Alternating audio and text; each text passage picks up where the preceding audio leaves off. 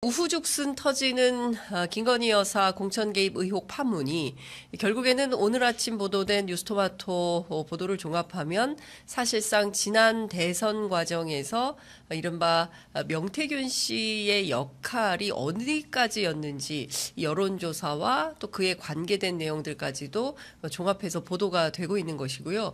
아, 지금 보면 뉴스토마토의 보도가 한 축이 있고 그리고 어, 이번 주부터 쏟아지기 시작한 도이치모터스 주가 조작 의혹 사건과 관련해서 어, 검찰발 어, 수사 내용으로 보입니다. 이종호 씨 녹음 파일 그리고 어, 주포 2차 2차 주가 조작 사건의 주포였던 어, 이모 씨의 편지 그리고 김건희 여사와 이종호 씨가 주고받은 어, 한 달치의 통화 내역 40차례 이런 내용들을 좀 종합해 보면 그리고 또 그 아시는 것처럼 어, 서울의 소리 보도로 김대남 전 대통령실 선임 행정관의 용인 어, 이것 용인 게이트라고 해야 됩니까? 용인 사건.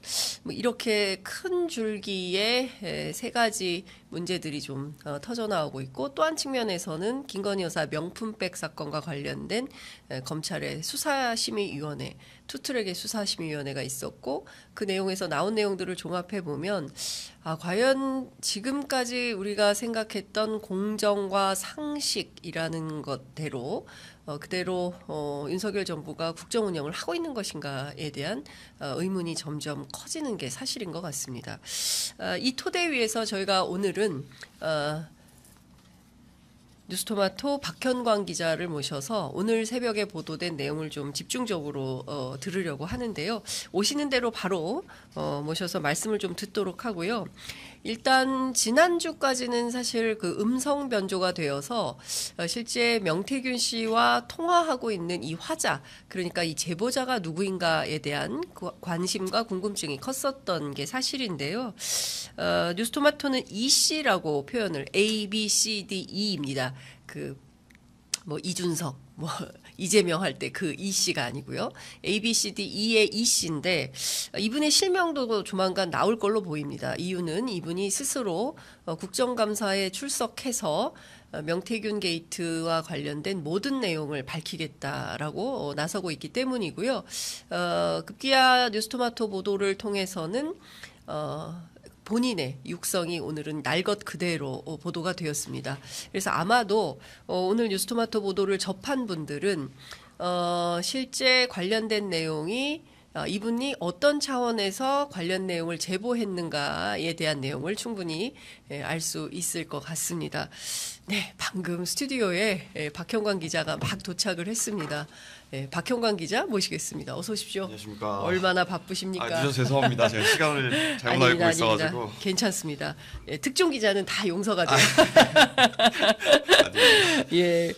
아, 지금 방금 그 뉴스 인사이다에서 건너오셨는데, 네. 예, 오시느라고 많이 막혔죠, 길이. 아, 예, 조금 출근길이다 보니까. 그러니까요. 네. 예, 출근길에 얼마나 바쁜 분들 많을 텐데, 우리 급하게 오시느라고 고생 많이 하셨습니다.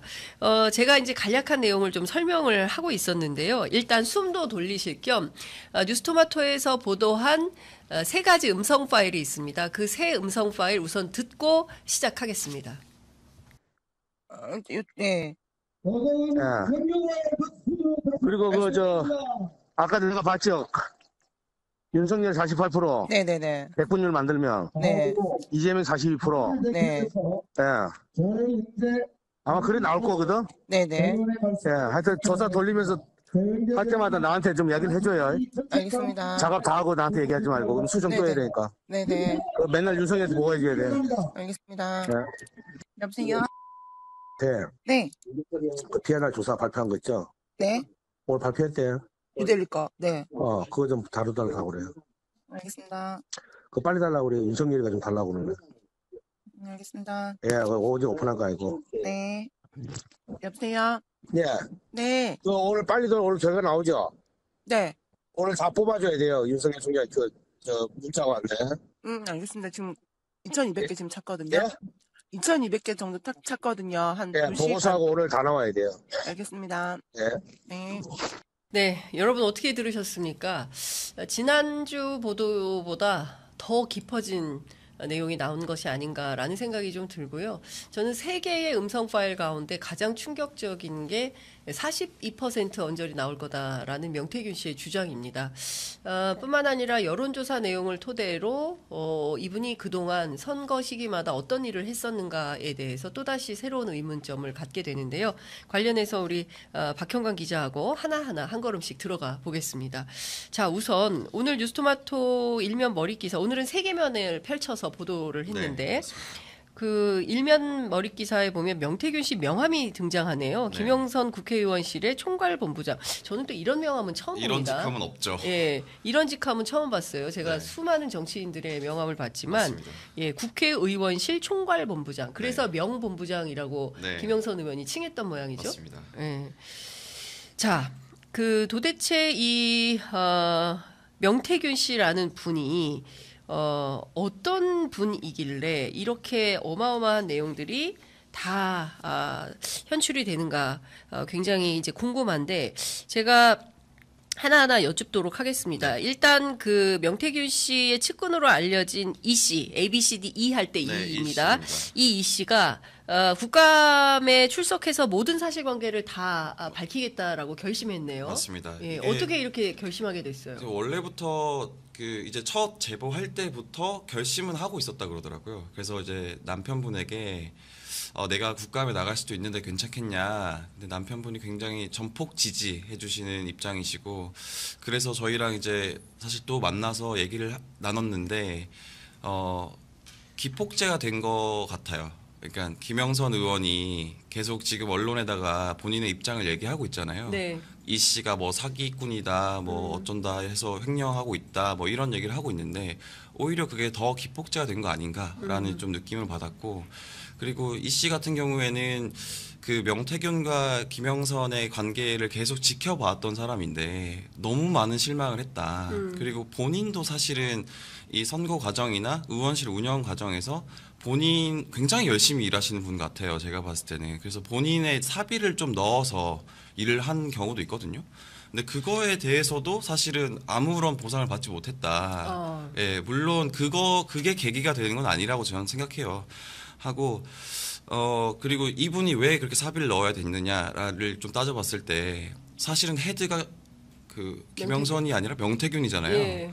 저희가 지금 추정해 볼 수 있는 바로 따르면 근데 의원실에서 돈은 나오는데 근데 돈은 안 주고 명태균은 계속 시켜 음. 그러니까 이거를 명태균이 예를 들어서 현수막을 걸라고 하면 본인의 돈을 써서라도 걸 수밖에 없는 거예요. 어. 그- 근데 네. 그분이 냈던 그 사비의 규모가 어느 정도입니까? 그거는 저희가 정확하게 좀 말씀드리기는 어렵고 예. 어, 억 단위로 알고 있습니다. 억 단위 네. 사비. 근데 이제 지금 그 여러 군데에 나오는 그 이 씨의 신원에 대해서는 네. 그 김영선 의원실의 보좌관 그런데 사실은 어, 명태균 씨의 어, 회사의 직원으로 맞습니다. 훨씬 명태균 씨하고 오랫동안 뭐 10년 정도 어, 네. 관계가 있었고 맞습니다. 그리고 이후에 그러니까 명태균 씨에 의해서 김영선 의원실로 어, 들어가서 활동을 한 뭐 이런 맞습니다. 케이스라고 봐야 되겠죠. 네, 정확하게 맞는 얘기고요. 예. 그 어쨌든 이 씨가 이번에 국감장에 서겠다라고 하면서 어느 정도의 정보를 말해도 괜찮다라고 말씀하셔서 네.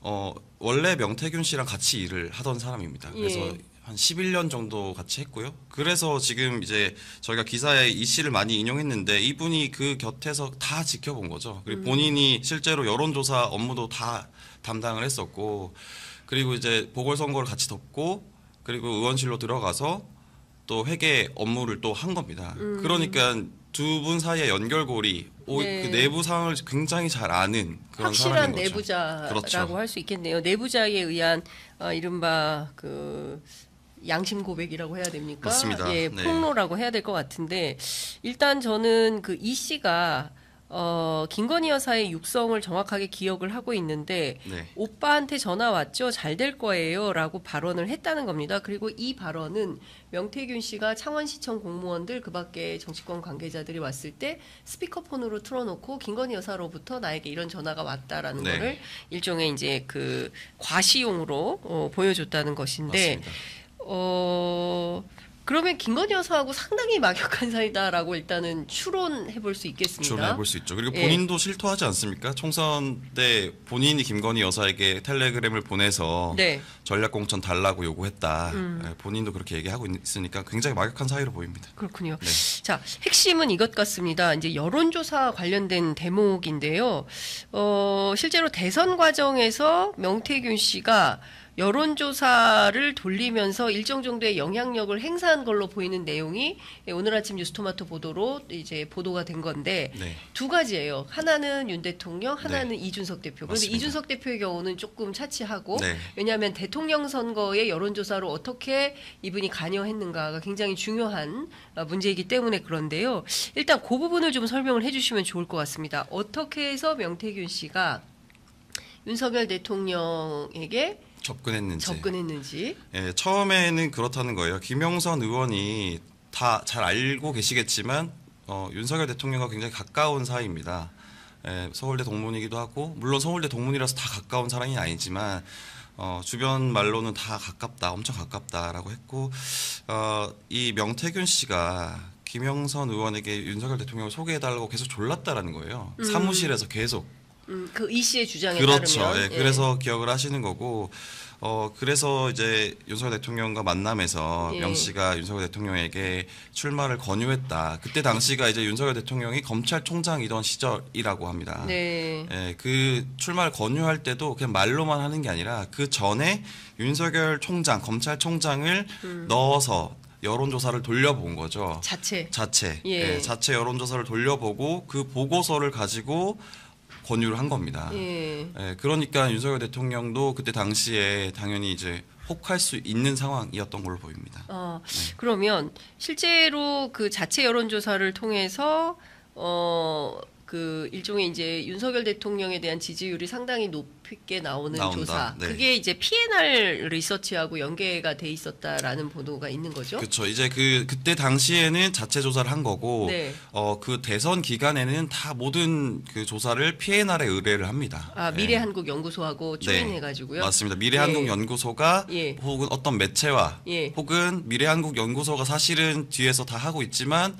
매체 이름만 빌려서 예. 예, PNR에 의뢰를 하는 음. 그런 방식으로 PNR에 조사를 맡깁니다. 네. 그러면 그 PNR 조사 결과를 가지고 네. 어, 명 씨가 윤석열 대통령에게 어, 당시에는 윤석열 후보죠. 그쵸. 윤석열 후보에게 보고서를 계속 올렸던 겁니까? 여론조사 관련해서. 그러니까 보면 윤 총장에게 보고해야 된다라거나 뭐그 계속 문자가 온다. 뭐, 문자가 예. 온다. 뭐 이런 내용들이 지금 있는 겁니다. 네. 예. 그래서 실제로 이제 어, 음성 파일의 내용만 봐도 어, 이제 명태균 씨가 계속 윤석열 대통령에게 그 여론조사 보고서를 가지고 올라가서 어, 이제 브리핑을 했다는 내용을 유추해 볼 수 있고요. 음. 네. 그리고 이 씨의 증언도 매일 아침에 9시쯤에 사무실에 와서 예. 처음에 브리핑을 한 뒤에 print out된 어떤 여론조사 결과 보고서를 예. 가지고 서울로 올라간다라는 거예요. 그러니까 어. 왜 그런 print out을 하느냐. 예. 왜냐하면 이게 비공표되는 여론조사도 많았기 때문에 음. 그 여론조사를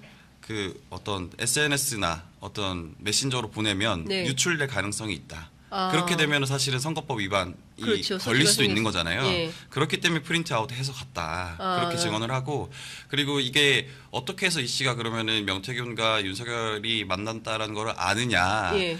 항상 아침에 왔을 때 브리핑 할 때그 예. 자랑을 한다라는 거예요. 음, 나 이거 윤석열 대통령, 그러니까. 후보에게 네. 그 보고하러 가야 돼. 네. 보고 문건 갖고 가야 되니까 이거 만들어 줘. 뭐 네, 이런 그 식으로. 어제 윤석열 대통령이랑 만나서 후보랑 만나서 뭐 했어 술 먹었어 뭐 이런 얘기를 이제 자랑 예. 삼아 한다라는 겁니다. 예. 근데 이제 이런 네. 거예요. 당시에 사실은 그 0.73%라는 그 아주 박빙으로 선거 결과가 뒤바뀌지 않았습니까? 맞습니다. 그래서 사실 그 여론조사 결과가 굉장히 중요한. 네. 물론 근데 모든 선거에서 그렇습니다. 모든 선거에서 여론조사 결과가 어떻게 나오느냐에 따라서 특히 후보들도 피가 마르는 뭐. 그런 형국이기 때문에 분위기가 달라지기 때문에 그렇죠. 예. 여론조사에서 몇 퍼센트 차로 우세하는가? 뭐 이거 미국 선거만 봐도 그렇지 않습니까? 맞습니다. 그렇기 때문에 굉장히 중요한데 이분은 자체 여론조사를 끊임없이 돌리고 그 여론조사를 기반으로 해서 어느 정도 아, 누가 우세하다라는 게 확인이 되면 공개 여론조사를 네. 또 한번 돌려보고 맞습니다. 그걸 토대로 후보에게 가서 네. 설명을 일종의 브리핑 같은 걸 하는 네, 거겠죠. 네. 브리핑을 하고 이런 방식으로 선거 캠페인을 주도했다 이렇게 봐야 됩니까? 어, 역시 너무 정확하게 짚어주셨는데 그 명태균 씨가 그런 패턴을 가지고 있는 걸로 보여요. 그러니까 이준석 대표한테 접근할 때도 그랬고 윤석열 대통령한테 접근할 때도 그랬고 그리고 다른 여타 이제 정치인들에게 접근할 때도 본인이 어, 먼저 자체 여론조사를 한 뒤에 네. 접근한 뒤 하- 했고 그리고 공, 공표 여론조사를 돌리는 방식으로 또 환심을 사고 요렇게 이제 진행을 하는 걸로 보입니다. 아, 참 이게 그 어, 사실 근데 정치권에 늘상 있는 그 풍경이기는 합니다. 네. 그러니까 어떤 후보가 스스로 출마 결심을 하고 그리고 본인이 판단해서 가장 신뢰할 만한 여론조사 기관에 자체 여론조사를 맡기고 네. 그리고 그 지역에서 본인이 어느 정도가 나오는지 동네별로 분석한 다음에 집중적으로 가서 캠페인을 해야 되는 지역을 정하고 그런 다음에 이제 유권자 지형이나 이런 게 확인이 되고 그에 따라서 이제 전략을 짜서 이제 네. 활동을 하는 게 이제 대략의 선거 캠페인의 로직인 것인데 네.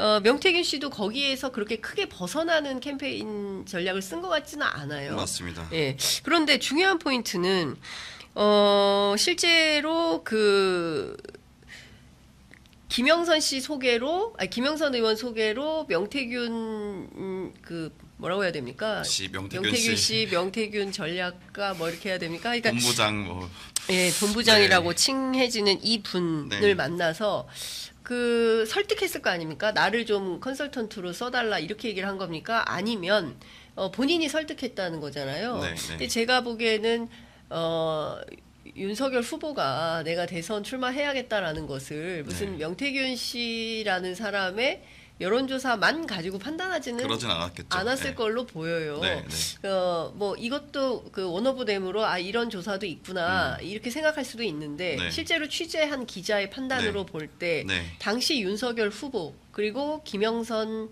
의원 그리고 김건희 여사 이, 이 사람들은 명태균 씨라는 사람에 대해서 어느 정도 신뢰했다라고 볼 수 있을까요? 어, 일단 어, 많이 신뢰를 많이 한 건 맞는 것 같아요. 왜냐면은 네. 명태균 씨라는 사람이 모든 정치인 난다긴다 하는 모든 정치인 그리고 잔뼈가 굵다 하는 모든 정, 정치인들의 얘기를 들어보면 네. 이 사람이 좌중을 압도하는 사, 하는 평, 그 힘이 있다. 음. 예, 그런 말이 언변이 굉장히 능하다라는 네. 평가가 일치하거든요. 음. 그러다 보니까 어, 이 분에 대해서 한 번 빠져들면 깊게 빠져들고 그리고 이분을 그런 어떤 면 때문에 이분을 사기꾼이라고 평가하는 사람도 있어요. 어. 그런 분들은 딱 잘라냅니다. 음. 그래서 실제로 명태균 씨가 제가 이제 취재한 바에 따르면 유력한 정치인 여럿에게 접근을 했다가 그 여럿 중에 몇 분은 어, 명태균 씨를 보고 사자다라는 음. 판단을 하고 바로 잘라냈다라는 거예요. 네. 그러니까 명태균 씨가 한 명만 지목해서 타겟으로 삼는 게 아니라 여러 명을 돌아다니면서 소위 말해서 찔러본다. 그러니까 그물을 넓게 치는군요. 그렇죠. 네. 그렇게 해서 어떻게 보면 이런 말이 좀 너무 그럴 수 있지만 윤석열 후보가 얻어 걸렸다 라고 보입니다. 네. 아, 근데 이제 이런 거죠. 그러니까 뭐 어떤 사람은 그에 대해서 어떤 칭호를 쓰고 또 어떤 사람은 또, 어, 뭐 대단한 전략가다 이렇게 평가를 하기도 하고. 네. 그러니까 뭐 그분의 이제 여러 가지 측면이 있기 때문에 그것을 뭐 확언해서 어떻다라고 평가하기는 어, 조금 맞습니다. 이른 감은 있지만 네. 네, 추가로 나오는 보도들을 종합해서 이분이 어떤 영향력과 어떤 역할을 했는지는 더 밝혀져야 되겠지만 네. 어, 이번 보도를 통해서 확인된 것은 첫 번째 김건희 여사가 어, 명태균 씨에 대해서 그 뭐 일종의 이제 아까 뭐라 했죠 오빠한테 전화 왔죠 잘 될 거예요라고 일종의 이제 이런 그 뭐 주고받은 어, 대화가 있다라는 것이 이제 제3자를 통해서 확인이 됐다라는 네. 건 하나 하고 두 번째는 여론조사 내용을 가지고 실제로 어떤 역할을 했던 거 아니냐라는 그저 내용 그럼 취재 내용도 확인이 된 것이고 어 그리고 더 중요한 것은 아까 말씀드린 것처럼 어, 윤석열 대통령의 여론조사 결과를 계속 가서 보고를 하는데 이 숫자가 저는 굉장히 그 의미심장했습니다. 네. 그 뉴스토마토가 입수한 음성 파일을 보면 2022년 2월 28일, 그러니까 선거 막판이에요. 맞습니다. 그러니까 3월 10일 대선이었으니까 네. 오후 2시 13분이 13분에 그 저번에 그래프 연령별 아까 이제 들으신 것처럼 투표를 보여줬죠. 계산한 거 두 개를 만들 수 있나 이런 표현을 써요. 네. 그 윤석열 48%, 백분율 만들면 이재명 42% 아마 그래 나올 거거든 이런 말을 합니다. 맞습니다. 이 조사 돌려보지도 않고 어떻게 알죠 숫자를? 그 부분이 좀 의심되는 지점이긴 한데 네. 어, 저희도 사실 그, 뭐, 그 부분을 추가 검증 중에 있어요. 예. 네, 중에 있고 이번 기사 같은 경우에는 어떻게 그 관계망을 형성했는지에 좀 집중을 했고 다만 이제 PNR 대표와 저희가 전화 인터뷰를 했거든요. 음. 했는데 전 PNR 대표는 어, 당시에 저 여론조사 결과가 좀 이상하게 나온 거는 인정한다. 아, PNR 대표가? 네, 본인도 여론조사 대표가요? 맞습니다. 아, 본인도 그래요? 이상하게 생각했다 당시에. 어, 네, 그래서 본인도 이게 왜 그런지 연구를 하려고 했는데 방법이 없었다. 본인도 이제 어떻게 아니 보면 잠깐만요. PNR 리서치 대표는 여론조사 대표 회사 네, 사장이고 맞습니다. 문항 설계나 이- 그리고 여론조사 결과에 대해서 책임을 짓는 위치에 있는 분인데 이분 스스로 그때 결과 뭐 여론조사 내용이 이상했다라는 게 도대체 무슨 말입니까? 그러니까 전왜 이상했냐? 네, 왜 이상했냐라면 네. 본인은 굉장히 소신껏 원칙대로 했다라는 거예요. 그러니까 내가 어떤 장난을 치거나 기술이 들어간 게 아닌데 왜 네. 우리 것만 높게 나왔느냐라고 어. 이상했다라는 거예요. 그래서 그래서 사실 이 부분에 대해서는 제가 좀 길게 말할 건 아니고 예. 저희가 이제 인터뷰한 내용을 바탕으로 내일 아침에 기사를 내기로 했어요. 그래서 아, 내일 그- 기사가 하나 더 나옵니까? 네, 그래서 예. PNR 대표 인터뷰한 거를 기사로 내기, 내기 때문에 그걸 음. 한번 지켜봐 주시면 좋을 것 같습니다. 그래요. 네, PNR 대표가 사실 예. 본인이 어떤 언론에 본인 목소리를 내는 건 처음이라고 하더라고요. 어, 언론에 이제 인터뷰하는 것은 처음이다. 네, 그러니까 네. 당시에 2022년 대선 과정에서 PNR 리서치의 대표가 네. 당시에 여 론조사에 어떤 문제가 있었는지를 직접 본인의 육성으로 뉴스토마토에 네, 출연해서 어, 발언을 하겠다라는 내용인 그 거죠. 기사로 아마 낼것 아, 같습니다. 기사로. 네. 예, 텍스트 기사로. 네. 예. 어, 저희가 뉴스토마토 홍보 요정이에요. 고맙습니다. 계속 예고 방송을 제가 하고 있는데 네. 아니 근데 이런 겁니다. 어 이것도 충격이네요. 하여튼 저희도 내일 뭐 챙겨보도록 하겠고 네. 그러면 그 이 여론조사 과정에서 뭔가 미심쩍은 내용이 있었던 건가라는 의심을 네. 하게 되고 그 부분에 대해서 저희도 어떤 뭐 예를 들어서 좀 이상하긴 해요 결과가 그래서 예. 조금 추가 검증을 하고 있다. 네, 그렇게 말씀드리겠습니다. 음, 그렇군요. 네. 그 이건 어떻게 봐야 됩니까? 미래한국연구소가 2022년 2월 28일 네. 자체 여론조사 결과 보고서도 이제 뉴스토마토가 입수를 했는데 그렇습니다. 그 내용에 보면 당시 이재명 대표 지지율이 45.4 네. 아니죠 윤석열 대통령 후보가 45.4 그리고 이재명 대표의 지지율이 40.7뭐 이렇게 나왔다는 거고 네. 연령대별로 가중치를 적용하면 윤석열 47.5 이재명 42.6 이렇게 나왔다는 건데 네. 어, 요 내용도 상당히 좀 이게 믿을 만한 것인가라는 생각이 좀 드는데 요것도 설명을 좀 해줄 수 예, 있어요? 그게 사실은 이게 비공표기 때문에 가능한 거죠. 이제 공표되는 아. 여론조사가 아니었어요. 그래서 예, 예. 공표되는 여론조사에서 이렇게 하면 사실은 이거 법적으로 걸릴 겁니다. 아마. 예. 예, 걸릴 거고 예. 비공표되는 것 그러니까 윤석열 대통령한테 보여줘야 되니까 네. 좀잘 나온 걸로 보여주려고 한 거 아닌가. 그래서 좀 환심을 아. 살려고 한 거 아닌가 그렇게 예. 이제 추측하고 있습니다. 근데 그 보면 그 3월 2일 3시 58분 이것도 이제 선거에 임박한 때인데 네. 이때 그 저 명태균 씨가 이런 말을 해요. PNR 조사 발표한 거 있죠? 그거 빨리 달라고 그래요. 윤석열이가 좀 달라고 그러네. 네. 이런 표현을 해요. 네, 네 맞습니다. 어느 분이 더 연령이 많으신지는 저는 알 수 없지만 윤석열이가 달라고 그러네. 이제 이런 표현을 합니다. 네.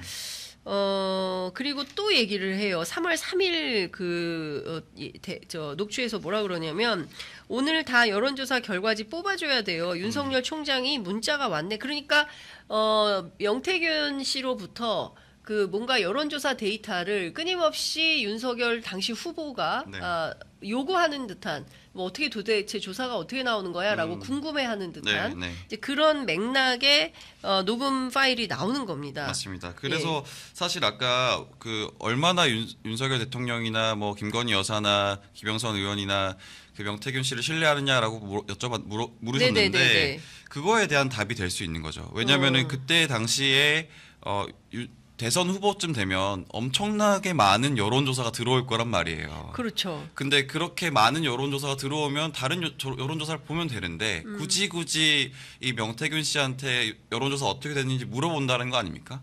그만큼 명태균 씨의 여론조사 그리고 명태균 씨 자체를 좀 신뢰하고 있었던 거 아닌가 예, 그렇게 판단이 됩니다. 그렇군요. 이제 관련해서 대통령실에서 어떤 입장이 나올지 그 이 보도에 그동안 뉴스토마토 보도에 대해서 대통령실 어떤 특별한 입장을 밝히고 있지 않은데 네. 어, 김건희 여사와 통화 내용 뭐 이런 등등에 대해서 입장이 지금 어, 나오지 않고 있는데요. 오늘은 어떤 입장이 대통령실에서 나올지 저희가 좀 지켜봐야 될 것 같고요. 네, 입장을 좀 내주셨으면 좋겠습니다. 그러니까요. 네, 예, 궁금하시죠. 예. 그리고 또 하나 여쭤볼 것은 그러니까 그 이 여론조사 비용 전체 내용이 나왔는데 이 돈은 다 어디로 간 겁니까? 3억 얼마가 쓰인 내용인 거죠. 종합을 해보면 그쵸. 이 돈은 못 받은 거죠. 예, 3억 7,520만 원이 집행된 거네요. 네. 예. 3억 7,520만 원을 못 받은 겁니다. 그냥 이 이제 미래한국연구소가 다른 데서 번 돈을 여기다 다 넣은 쓴 거죠. 거예요? 쓴 거죠. 어, 그 아니 돈을 안 내고 여론조사를 맡겼다는 거예요? 그러니까 이 미래한국연구소가 예. 사실은 명태균 씨가 실질적으로 운영하는 곳이니까 명태균 씨의 말을 듣긴 했는데 명태균 씨가 따로 돈을 주진 않았다는 거예요. 음. 그리고 어쨌든 누군가가 정식으로 발주를 해서 여론조사 돌린 게 아니고 명태균 씨가 시켜서 여론조사 돌린 거니까 어떤 계약서가 따로 남아 있는 것도 아니고 네. 사실 하지만 이 지금 정황을 봤을 때 여론조사를 발주한 곳은 어, 윤석열 후보 대선 캠프라고 봐야죠. 음. 네, 근데 거기서 돈을 받지 못한 겁니다. 네. 관련해서 명태균 씨는 뭐라고 합니까? 어, 명태균 씨는 저에게 이제 아무런 입장을 표명하지 않습니다. 그래서 더는 연락하지 말라. 네. 연락하면 스토킹 처벌법으로 이제 고소하겠다라고 말씀하셔서 최근에 그 언론 매체에 명태균 씨가 등장하지 않았습니까? 그 본인의 입장을 네. 강조하고 있는데요. 네, 그 명태균 씨가 어쨌든 뭐 그 SNS에 본인 무슨 사진이랑 뭐 간략한 메시지를 올리고 있는데 네. 뭐 이준석 천하람 뭐 그 홍매화 심는 장면 예, 예, 또 예. 안철수 맞습니다. 의원과 촬영한 사진 뭐 이런 것들을 올리면서 우회적으로 정치적 메시지를 보내고 네, 어 박재용의 한판 승부의 제작진에는 또 본인이 문자 메시지를 맞습니다. 보내서 본인의 입장을 또 피력하고 있습니다. 네. 그러니까 김영선 의원과 마찬가지로 명태균 씨도 본인 대응을 하고 있는 거 아닌가라는 생각이 좀 드는데요. 어, 사실 그런 어제 저도 그런 얘기를 들었어요. 이제 명태균 씨가 어, 대응을 시작할 거다라고 음, 얘기를 들었는데 그런 말을 하기 듣기 무섭게 바로 이제 좀 행동을 취하는 것 같아요. 그러니까 지금 공포탄 쏘고 있는 것 같은 느낌이 좀 듭니다. 내가 실탄을 가지고 있으니 너네 어떻게 좀 잘해봐라. 어? 이런 느낌을 주고 있는 거 아닌가? 그리고 대통령실을 좀 압박하고 있는 거 아닌가? 어, 좀 그런 느낌이 듭니다. 그러면 안철수 의원이나 이준석 천하람 의원들에게 자기 편에 서서 싸워달라는 메시지라고 보시는 건가요? 그렇게 보이지 않습니까? 아. 네. 그렇군요. 자, 뉴스토마토가 어, 2022년 지방선거에도 네. 그두 명의 광역단체장 공천에도 관여한 정황을 잡고 후속 보도 준비 중에 있다라고 예고를 하셨습니다. 네. 이건 어떤 겁니까? 여기서 예고를 좀 띄워주시죠. 네, 저희도 사실 검증을 하고 있고 네. 여기에 대해서 안 그래도 편집국장께서 예. 이거 장윤선 선배가 꼭 물어볼 테니까 말하면 안 된다라고 해서 네, 함구하기로 네. 네, 아, 그 역시 요런- 예리하게 여쭤보시는 것 같아요. 네, 요, 요런 거 안 놓칩니다. 네. 이런 거 중요하거든요. 예. 그 이준석 대표와 관련해서도 그 내용에 나오네요. 저도 사실은 뭐 여러 가지 그 정치인들의 전언을 통해서 사실상 이준석 대표의 돌풍을 만든 사람이 그러니까 창원에서 특히 그 허성모 의원이 저희 프로그램 출연해서 하신 말씀이기도 한데 어, 당시에 이준석 대표를 만든 사람은 어, 명태균 명태균 씨다. 씨다. 이렇게 정평이 나 있다라고 네. 저희 프로그램 출연해서 발언을 하셨는데요. 실제로 그런 면이 있다. 이준석 돌풍 명태균 작품 이렇게 해서 소제목이 뽑혀 있어요. 네. 어떤 내용의 추가 취재 내용일까요? 사실 그 장면 그 광경을 이 씨가 다 봤거든요. 음. 예, 그래서 어, 그런 증언을 해주신 거고 사실 이 부분에 대해서는 정치권에서는 많은 분들이 알고 계신 건 맞죠. 예, 그리고 자료만 봐도 그때 당시에 어, PNR의 여론조사가 이준석 대표에게 굉장히 큰 도움이 됐던 것도 사실이고, 예, 그리고 그 이런 걸 볼 수 있어요. 그러니까 두 분의 관계가 얼마나 가까운지를 또 볼 수 있는 대목이 있거든요. 저희가 사실 앞서 공개한 음성 파일 중에 좀 뒷부분을 뺐는데 네. 어, 이번에는 그 뒷부분에 담겨 있는 내용을 기사에 좀 담았습니다. 음. 여기 보면은 2022년 5월 9일 날 그 명태균 씨가 그런 얘기를 해요. 아, 우리 공천 이제 받으니까 그리고 다음 주 아, 이번 주 주말에 그 이준석이가 올 거야. 어. 네, 그러니까 사무실 뭐 인테리어 잘 해놔, 잘 세팅해놔, 뭐 그런 얘기를 합니다. 그러니까 그때 당시에 이준석 의원이라고 하면 국민의힘 당 대표였고, 어, 그러면은 어, 2월 9일 날, 5월 9일 날 통화했고, 5월 15일 날 실제로 이준석 대표가 사무실을 방문합니다. 김영선 의원의 후보 사무실을. 그런 거 보면 사실 6일 전에 그 당대표 일정을 알았거나 그 당 대표 일정에 관여할 수 있었던 위치였다. 그럴 수 있는 사람이 몇 명이나 되겠습니까? 예, 그러니까 당 대표 선거에 굉장히 많이 도움을 줬다면 그럴 수 있는 사람, 그럴 수 있겠죠. 예. 네.